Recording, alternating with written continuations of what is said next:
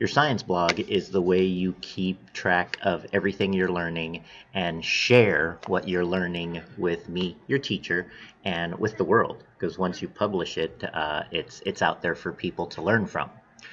So you got to remember, you go to blogger.com, and really from here, the most important thing is is click on Google account, and just make sure you're on your Google one. So this is my home one and my Google and I can just go back and forth. So if you're on your home account, make sure you click on add another account uh, and add your school one because once you're on your school account, you can see all your schoolwork and do a new post to add uh, your latest learning and to share it with me. And remember, when you are, are done with something, um, you're going to click on view.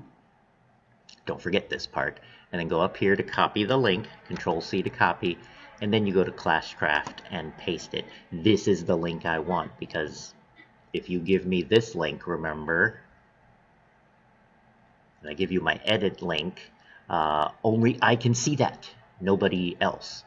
So don't give me this link, look at what this looks like, and look at what this looks like. This is the link I want. Notice the difference. This starts with your uh, the name that you chose versus this one that starts with blogger.com.